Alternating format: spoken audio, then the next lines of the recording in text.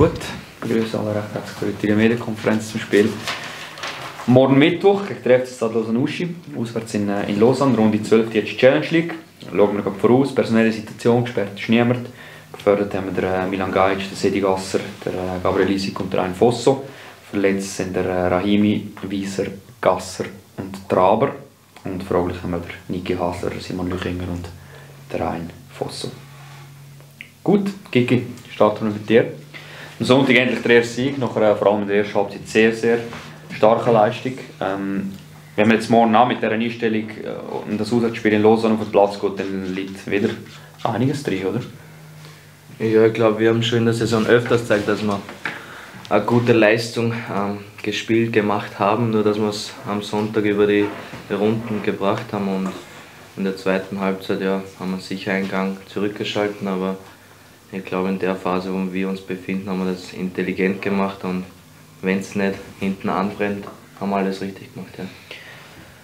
Ja, Levermorn gegen Uschi, vor knapp drei Wochen haben wir schon gegen sie gespielt. Ähm, 2-0 verloren dort daheim im Riperstadion.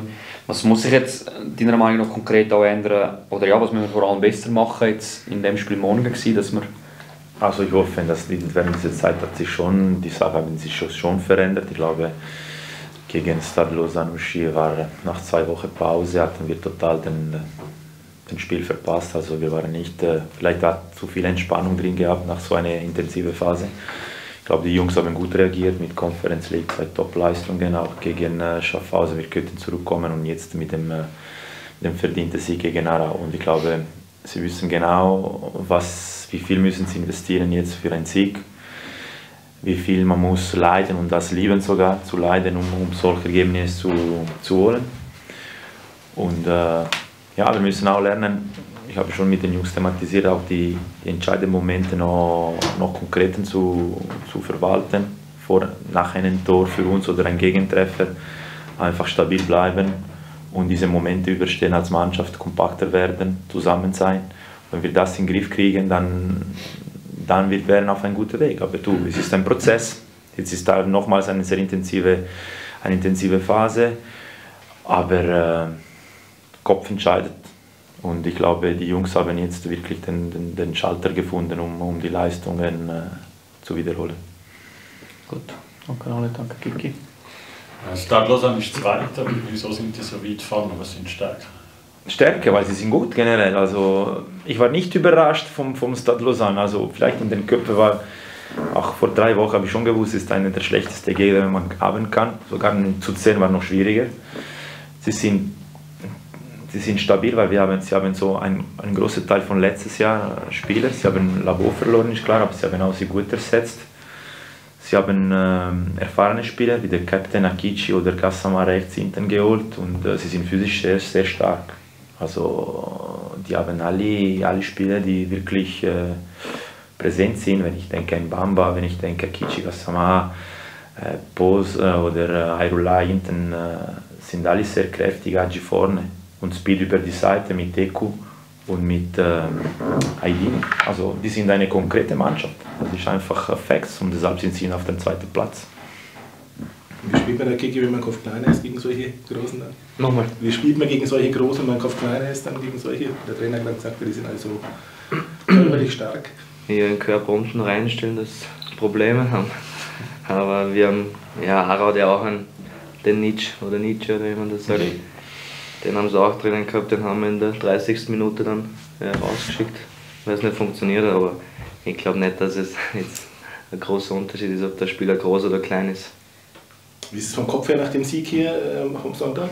Ähm, ist es so eine Befreiung auch da gewesen, dass es endlich geschafft hat, das erste Mal die drei Punkte zu holen? Ja, eine Erleichterung. Ich glaube, das darf ich ansprechen, dass wir in der Halbzeit schon ein bisschen zu verrückt unterwegs waren. Ähm, bis nicht der Trainer eben reinkommen ist und gesagt, Jungs, ähm, da ist noch einiges zu machen. Aber es ist auf jeden Fall leichter natürlich, wenn, wenn jeder anredet, ja, oder nach dem Spiel, ja, endlich habt ihr mal gewonnen ähm, ist es auf jeden Fall leichter. Aber es das heißt jetzt nicht, dass es wieder leichter wird.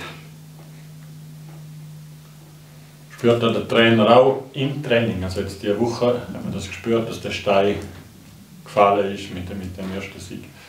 Oh, Training ist schon nicht so fix. Also die Woche ist kurz im Training, man kann nicht das, also man spürt eine gewisse, ich kann nicht eine Leiter, also ich als Trainer, ich bin wirklich bissig auf das nächste Spiel, also ich habe, ich habe, also, ein paar Anekdoten, also ich habe besser geschlafen nach, nach äh, Nipro-Spiel, ich habe gut geschlafen, ich habe gesagt, du, das ist Fußball, wir haben alles gegeben. Und nach dem Sieg trotzdem bin schon gestern, heute habe ich nicht gut geschlafen, ich bin schon nur mit dem Kopf nur bei dem Spiel, erleichtert bin ich nicht. Ich glaube, wir müssen es wahrnehmen, jetzt beginnt. Jetzt es beginnt wirklich, weil auch die, die Gegner, die andere Mannschaft haben gestern für uns gespielt, aber wir müssen mal die Gelegenheit nutzen, also sonst es bleibt einfach nur in der Luft.